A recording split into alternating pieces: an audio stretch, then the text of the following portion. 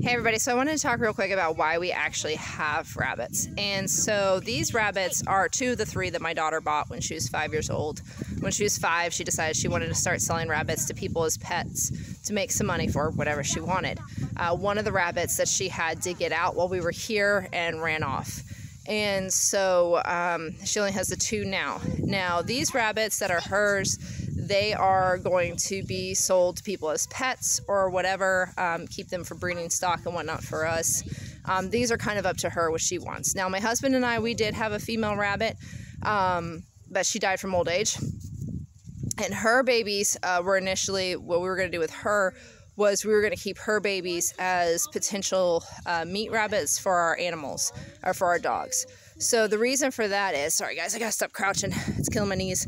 Um, so the reason for that is we have animals on our farm and we have ways to feed our sheep, we have ways to feed our rabbits and everything else without using any feed. The thing about it is, is if God forbid something happens to where we don't have the ability to buy dog food for our dogs, how are we gonna feed our dogs? So that's why we have rabbits. We do not eat rabbits ourselves. Um, that goes against Torah, but we do have the rabbits for our dogs should something happen. Now, this is not like we feed these rabbits to our dogs right now or anything like that. Honestly, we sell our rabbits um, to people for pets and everything else. But should something happen to where we cannot feed our dogs through con- conventional dog food, we do have the ability to still feed our dogs um, with rabbits. Now, again, that's why I said it was my husband and mine rabbit that we were using because my daughter will not allow us to do that, um, which we're fine with. These are her rabbits. She can choose to do whatever she wants with them. Um, our rabbit did die from old age, so we do need to get more rabbits for ourselves to do this for our dogs. Uh, but that is why we actually have rabbits on the homestead. They're not for any use for ourselves, except for, I will say, we do use their um, manure for fertilizer in the garden because rabbit manure is fantastic for that.